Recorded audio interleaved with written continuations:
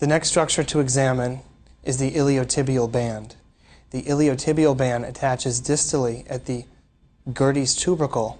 This injury is commonly involved in active individuals, including runners. Important landmarks, the transducer will always face superior with a notch. Secondly, to palpate Gerdy's tubercle, I begin at the fibular head. I move medially until I feel a bony protuberance, which is the Gerdy's tubercle. I'm going to place the probe directly over Gerdy's tubercle. Here I see the fibers of the iliotibial band attaching on Gerdy's tubercle. In ultrasound, bone is bright white due to its reflective nature.